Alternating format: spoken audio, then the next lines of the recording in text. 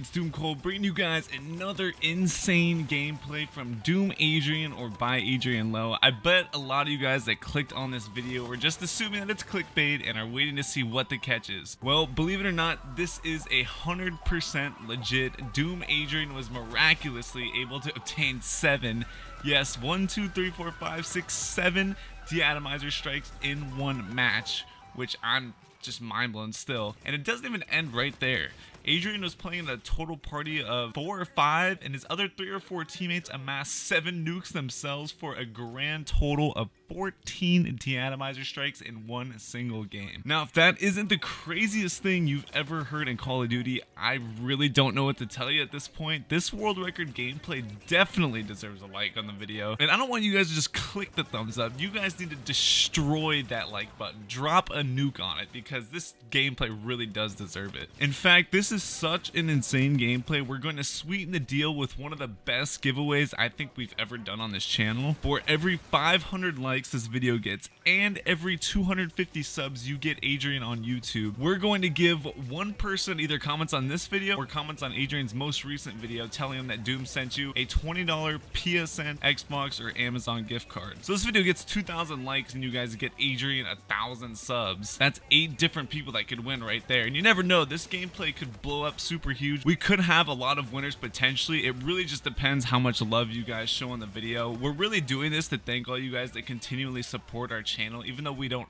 upload as often as we should. The main reason I know I say this almost every time is our main priority in Doom is to provide you guys with the most impressive and entertaining videos we can possibly create. So if we feel like, you know, a video isn't up to standard, we won't upload for a few days because we want to make sure that the video is as best as it could possibly be. So hopefully now that most of you guys have probably finished entering the giveaway or whatever, let's talk a little bit how Doom Adrian was able to pull this insane world record off. All right, so just to give a little bit of a background, he is playing Ground War Defender on the map Scorch. So this is definitely one of like the best maps in Ground War, I think. I haven't played Ground War too much myself, but it's actually one of the modes that makes Infinite Warfare kind of enjoyable, you know? Because there's so much action going on, there's so many people to kill and stuff like that. And yeah, Defender, I think, is one of the best modes to play as well, because it seems it can last pretty long, but the thing is, is this game didn't even last as long as it possibly could have, because the other team didn't pick up the actual ball once. So basically, when one of the teams that are holding the ball, like the the timer stops and just the score goes up. So just imagine if the other team was actually trying to pick up the ball, then the game could have gone on way longer. And who knows how many deatomizer strikes total they would have been able to achieve. But I'll also show his class setup on screen. Of course, he's using the raw solar powered, which I think everybody knew when this gun came out. It was basically going to be the best pub stomping weapon. Like I said in the other raw gameplay that we uploaded by Adrian, the mobility with LMGs in Infinite Warfare is almost identical to like an AR or something. And the reload speed, especially when you use dexterity, you know, the perk dexterity with it on LMGs is just super quick as well.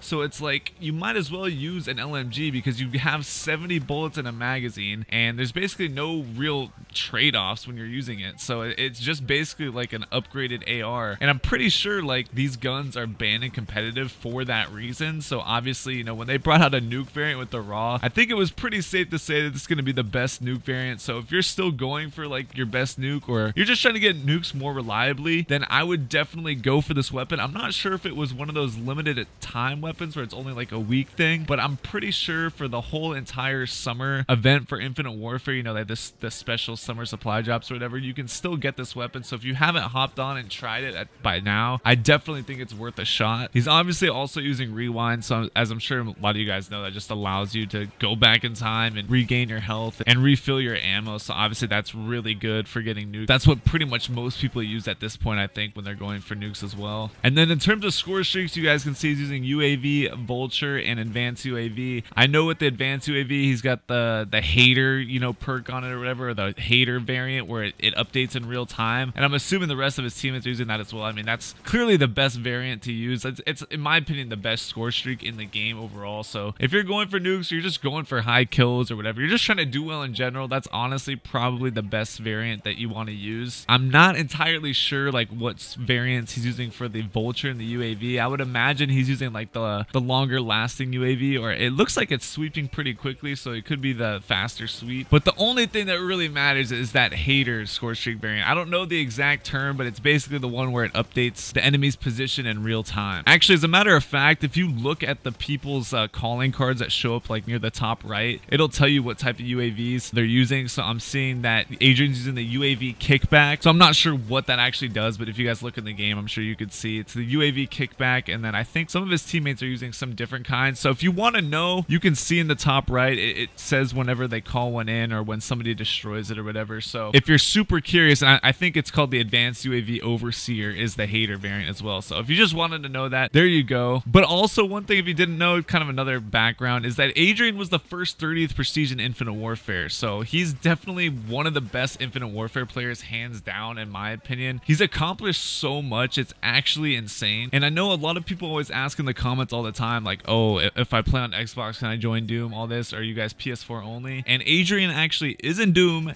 and he plays on Xbox. So that just goes to show that it doesn't matter which console you play on. Like I said before, you can even play on PC if you're really good. Like we don't discriminate against consoles around here. So Adrian is definitely holding it down for the team on the Xbox side of things because he just pulls off the most insane things. And another funny thing is I bet a bunch of people who clicked on this video just assumed that it was going to be some sort of like full party spawn trapping gameplay. Or maybe some people didn't even click on it because they just assumed that. Because for whatever reason, Doom gets this negative negative stigma that, oh, all we do is spawn trap and oh, that's all we can do. Even though we have so many players that don't even do that. Like, there's a select few of us that actually do spawn trap and stuff just because, you know, that makes the game fresh for us. It's a different style of play. And we play like so much Call of Duty that we're just trying to keep things fresh, whatever possible. So doing different things is what makes Call of Duty continuously fun for us. But there are some people on the team that are actually completely against spawn trapping and don't like it. And that's perfectly okay, you know, either one way or the other. Like, I can see arguments from both sides sides. Personally, I do, so you guys can hate me if you want, but it's just another fun way to play, honestly. And like I said, it keeps the game fresh for me sometimes. I don't do it all day, every day. That's not my thing. I'll do it here and there. But it's not fair to attach that same hatred towards everybody on the team just because a select few people do it, you know? So you guys should definitely give Adrian some more props for that. He was playing in a party of five, I think I see now. So it's not like he's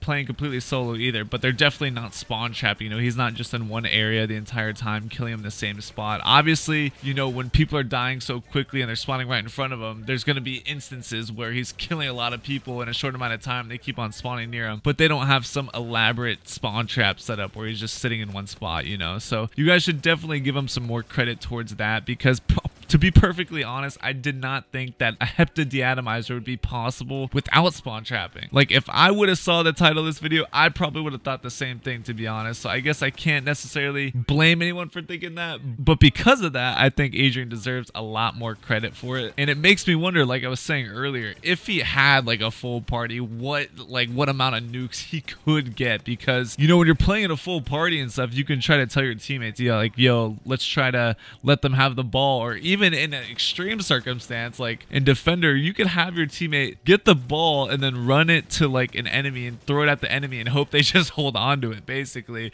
And that way you're kind of forcing the game to go longer. I don't know. If he did something like that, I, I couldn't even imagine the amount of deatomizer strikes that he would get. Also, you know, there were people I think that stayed in the game maybe the entire time, or maybe people are going in and out, but I know he wasn't playing against nine people on the enemy team the entire time. So obviously it's it's almost impossible to have these perfect circumstances where you're gonna have as many people to kill for the longest amount of time. But I'm just thinking like in back in older Call of Duties, it seemed like getting like seven or eight was the absolute maximum, unless you were like hardcore spawn trapping them, you know, killing them literally the, the millisecond that they spawn back in the map. But in this case, it seems like, you know, he could have gotten at least like 10, you know, if the game would have lasted a little bit longer in terms of the enemy actually picking up the ball or whatever. So that is just absolutely nuts to me. It makes me kind of want to get on ground war and kind of try that out or just, you know, even just play ground war more in Infinite Warfare in general. But the main issue I think with Call of Duty recently is that it's just so difficult to get people to connect to a lobby or have people stay in the lobby that it just kills the fun. Because I know I played Infinite Warfare a couple weeks ago I think when the the maps came out or whatever and I was trying to play ground war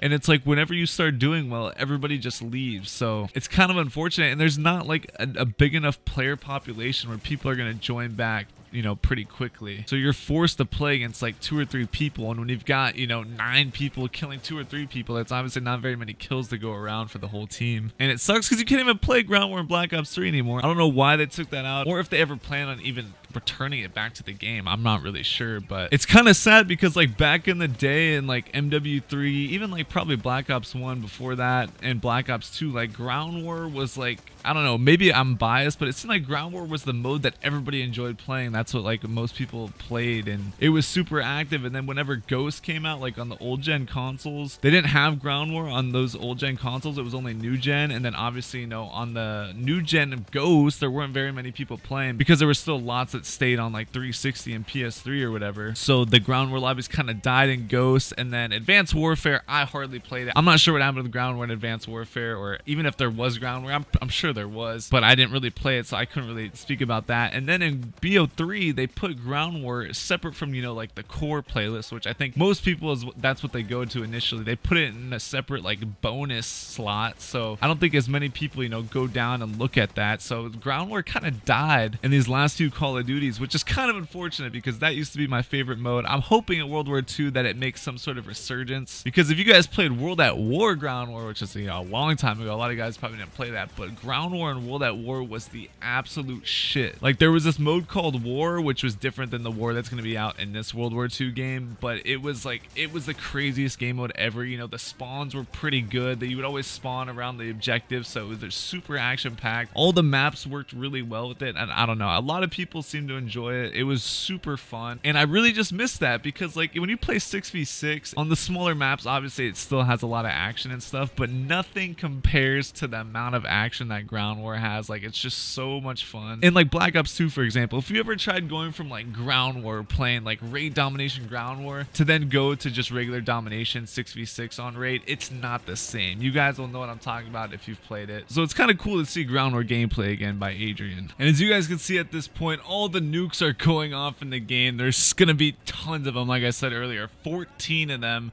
And they're just basically taking turns calling them in at this point. They're spamming the right D-pad to try to get theirs in first. And honestly, when I first saw this gameplay, I thought Adrian got a Hexa, so six, and I, I, wasn't even paying attention at the end. You know, I just figured because usually when people start calling their nukes, the other team starts leaving you can't really get kills because, you know, the nukes are going off constantly. But I wasn't even paying attention, and Adrian actually is able to pull it off at the end. And he had to tell me. I was originally going to do this video and say it was a Hexa. So thank gosh for Adrian. He told me, he reminded me that it was a Hexa. Or, I mean, I guess he opened my eyes to the fact that it was a Septa, I should say. And when he told me that, I was like, wait, what? Seven? I, like, I said earlier, I, I could not believe it at all. So I'm just going to say it again. Make sure to leave a like on the video. Make sure to subscribe to Adrian. Every 500 likes this video gets and every 250 subscribers Adrian gets on his channel, we're going to be giving away a $20 gift card of your choice. Make sure to leave a comment down below. We'll respond to a random comment every time it hits one of the goals. And if you leave a comment on his channel, make sure you say Doom sent you. We would definitely appreciate that greatly. And right after you guys see the final score at the end here, you guys are going to be mind blown by the final score. But after you see that, I'm going to show you guys all the medals and the XP he got because I didn't look at that until way after either. And I was just like, you guys will see in a sec how crazy it actually is. But once again, just want to say thank you guys for watching the video. Thank you for sticking with us. We're going to try to bring out the best possible videos we can. Like I said before, trying to up the quality in whatever way we can. So if you guys have any other ideas or any other challenges you want us to go for, anything like that, if you think there's something like super impressive that you think would be really difficult to do or I don't even know. You guys you guys can think of whatever you want. You can give us any type of suggestion. We'll listen to it to be honest. Because we're definitely trying to always think of ways to reward like our most dedicated subscribers. So for all you guys that have like the notifications on, you know, the bell or whatever, we're definitely going to be coming up with ways where you guys will be rewarded. I've got a few ideas already. I think I might sneak one in a video here soon. So if you guys are paying close attention, you might just get lucky. I'm not going to try and give away too much, but all I'm going to say is that the most dedicated viewers will probably get a reward one way or another. Because when we do these giveaways, obviously we want to reward the people that are the most supportive, you know, that only makes sense, right? So definitely be on the lookout for that. This gameplay is finally wrapping up. This was a super, super long gameplay as he shoots down a robo dog over there. It's funny, at the very end here, I don't know All these people are using that stupid Robo-Dog specialist. I don't know who told them that that was good, but hey, I guess that's why so many deatomizer strikes were dropped on them. You guys are going to see the final score here in a second. I think he spoils it a little bit by bringing up the scoreboard just a bit, but I really want to know how the hell do these people have all these stupid Robo-Dog things? Do you not like lose it completely if you die immediately after using it? I don't know. I'm not sure what happened there, but as you guys can see, he ends off 258 and 7 258 kills and he's only using a vulture as a lethal streak which obviously the vultures are really not going to get that many kills. I don't know. He probably got uh, no he most definitely got over 200 gun kills. And now just take a look at these medals and stuff. It is just absolutely insane. Never mind the fact that i think he got 90,000 xp just flat and then to double it up and get 180,000 XP that is just absolutely crazy. He got 102 unstoppable medals. If you don't know what an unstoppable medal is, it says right there. It's every kill after a 30 gun streak. So he got 102 of them. That's just absolutely insane. I don't know guys. Hopefully you enjoyed this legendary gameplay. Like I said, please leave a like and a comment. Would mean the world to us. Go check out Adrian's channel. He's a legend and I will talk to you guys soon with another video. All right, peace.